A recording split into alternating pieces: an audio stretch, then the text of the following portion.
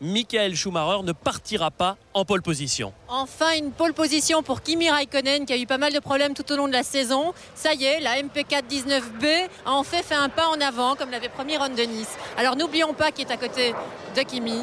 Rubens Barrichello en deuxième position sur la grille de départ. On devrait, c'est vrai, Karen, avoir une superbe bataille. Je vous propose de revenir sur les essais d'hier.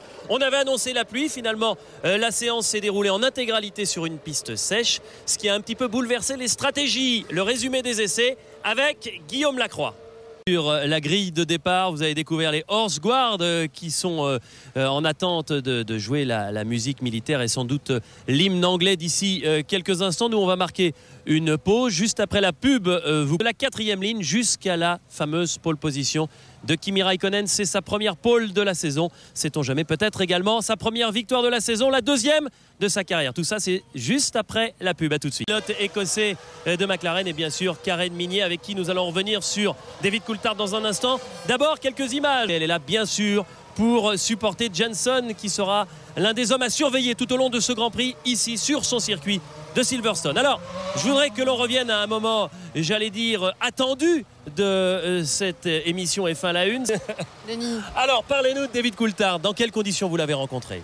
Dans une petite chaumière également, euh, très à l'aise. Il était très, très relax, très souriant comme il est à euh, son habitude.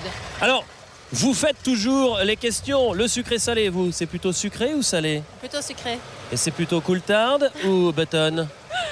Euh, Plutôt Button. Plutôt Button. Voilà la première information de ce F1 la une. Tout de suite, je vous propose de découvrir le sucré salé. Quelques instants pour euh, vivre en direct avec vous cette course, onzième course de la saison sur ce circuit de Silverstone. On a entendu tout à l'heure Jean Todt le dire, malgré le ciel menaçant, Karen, il ne devrait pas pleuvoir. En tout cas, on s'attend à une course passionnante. Oui, il y a un changement de température aussi depuis quelques minutes.